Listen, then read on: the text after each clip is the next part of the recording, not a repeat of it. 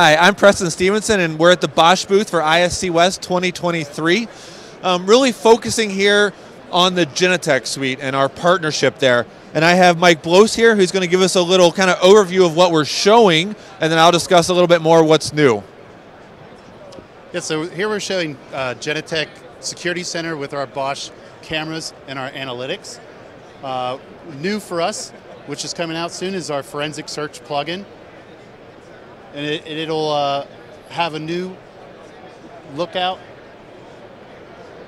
with a better overlay, nice gentle feel to it, uh, simple to use, where we can select uh, a camera, some uh, set up some tasks, and then uh, create events like crossing line after the fact. It's using our, our metadata stream from the camera. We're also showcasing our uh, intrusion integration with our uh, intrusion panels, and uh, we can show that in, our, in their maps. We can arm and disarm the areas. And we can also trigger events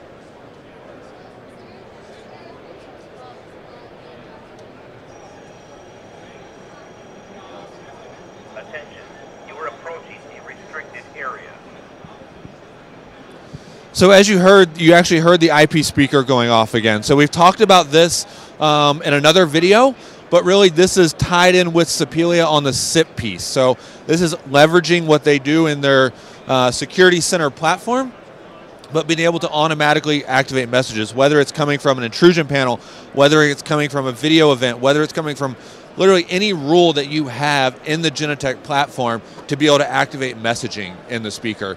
They also support live talk down um, with this, so being able to talk down to the speaker and be able to activate messaging. With that, um, so that's kind of an overview of this. If you have any questions, feel free to visit us at boschsecurity.us, reach out to any of the application engineers, um, any of the marketing team, as well as feel free to also go visit some of our partners over at the Genetec booth.